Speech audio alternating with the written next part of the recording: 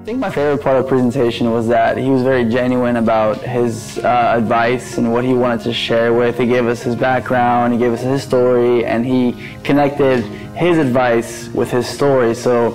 he was literally talking about himself while teaching us how to be where you know where you want to be tomorrow or the next 10 years so that journey you can really see in front of him because he was he was already um, he had already gone through it um, his energy and just his involvement with the audience. And so he kind of mingled among us, and there was a lot of interaction, which made it much more interesting. The main takeaway that I have is every time we all have a vision and we start walking towards it, but sometimes even if we realize that you know there's something wrong, we just continue on our path just because we started on it. Um, my main takeaway was it's okay to stop, reassess, and take a detour if you feel that what you're doing is not going to get you to your goal. And I think my key takeaway is that just building that confidence um, within yourself first, um, because that does matter, and that way you can instill that within your teams, and just um, not being afraid of the unknown. Uh, I think my key takeaway was